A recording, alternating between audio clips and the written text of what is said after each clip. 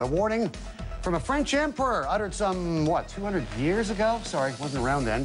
It kind of rang hollow for a long time, but China has awakened since. And if you think all she's done is shaken the world, you might be wrong. She may have well taken over the world. Martin Jacques, author of When China Rules the World, says we are underestimating China's potential power. PRC will replace the USA as the world's dominant power.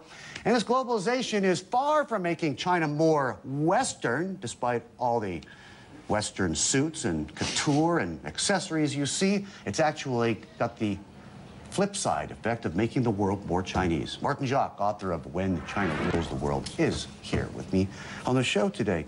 This is the second edition of the book. First one is uh, just a three years young, mm. and yet you've updated it with a plethora of uh, newfound intel. But you're sticking to your guns. China's really defining the cultural, the economic, the political fabric of the world. You're not budging from that view. Well, actually, why should I budge from the basic propositions in the first uh, edition?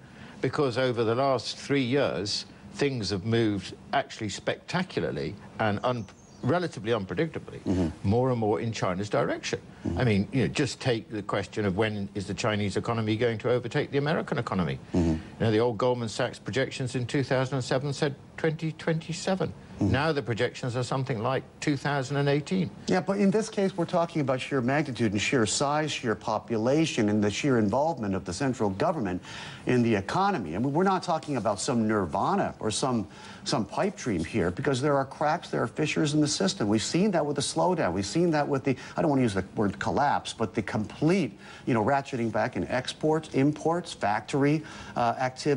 Who knows where the property uh, industry is going in China? more question marks loom over the PRC than last time we talked. Well, sure. You know, they've got problems. I mean, I don't think it's so new to say, well, they've got this wrong and th there's this problem and this difficulty and how are they're going to surmount that question because these have been continuing questions for mm. China because actually far from uh, the transformation pre being preordained, it's something that has required a great deal of skill on the part of the government, and I think that will continue. Maybe it'll become a more demanding situation. Mm. But I don't really think that it's likely that China's growth is going to kind of peel away mm. and we're going to go down to something quite different. Mm -hmm. It is going to go down. It needs to go down, actually. But, you know, what do they envision in the latest, the latest 12 five-year plan? Mm -hmm. About 7%. Right. 7 or 8% would be a very good growth rate for China. Tell me, uh, between the, uh, you know, the last edition, which we talked about, and the second uh, edition, the updated, uh, version. I mean, boiled down, you know, for TV purposes and a quick TV chat, which we're having here. What were the what are the main revelations? I mean, what were what were the surprises or the uh,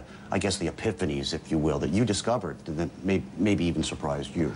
Well, I, I think the first thing is what I've already mentioned, which is the impact of 2008, the financial crisis, on the West, mm -hmm. while China, relatively speaking, handled the effects of that crisis extremely well and carried on growing very well with its stimulus plan. Of course, it threw up problems and so on, but that was the first thing. Secondly, linked to that was a major shift in power, largely unobserved, mm -hmm. certainly little commented upon, from the United States to China as a consequence of that. Mm -hmm. And then I think the third thing is we can already perceive what I would describe as uh, the beginnings of a Chinese economic world order. Mm. That actually China, rather than the United States, is probably now the key shaper of globalization. Mm -hmm. What are the characteristics of the Chinese economic world order? Well, it, they are going to be one, it's enormous trade footprint on the world, mm -hmm. so that many, many countries now around the world, and this is a relatively recent phenomenon, phenomenon now count China as their chief trading partner. Right. Secondly,